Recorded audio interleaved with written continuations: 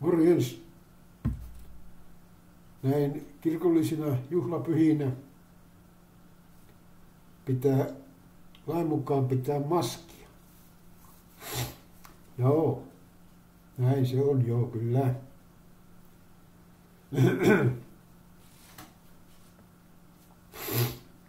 joo. Pyhäinpäivä. Ennen vanhaa se oli pyhä, pyhämiesten päivä. Pyhäinmiesten päivä. Mutta sitten nuo feministit rupes vaatimaan, että se pitää olla myös naiset mukana siellä kanssa. Kaikki naiset on pyhiä. Joo. Joo, joo.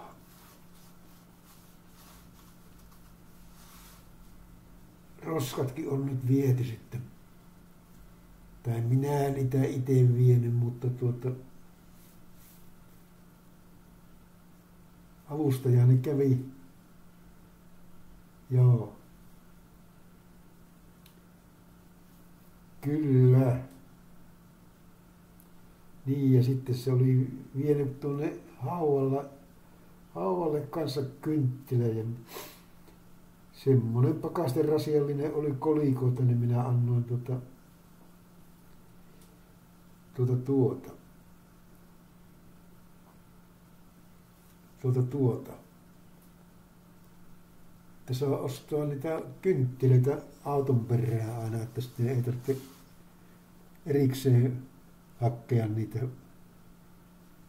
Joo. Yksi pykälä on nolla-viiva alapuolella. Pakkaselle se menee. Huomenna jäät, tietä, tiet jäässä. Joo. Paljonko sitä on mennyt tuota kolmatta minuuttia? Joo.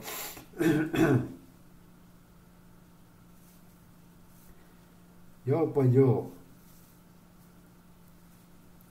Harmaata on. Aamupäivästä niin se oikein aurinko vähän vilikahti.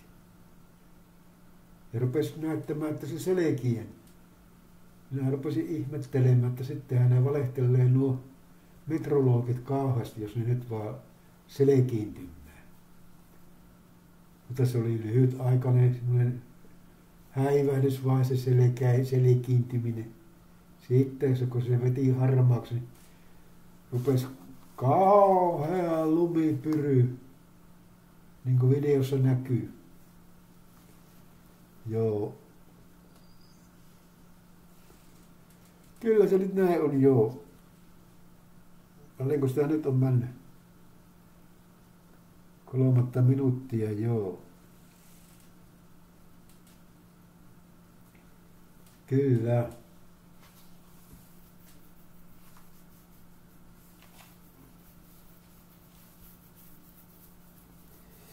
Satiaisia on hirveästi.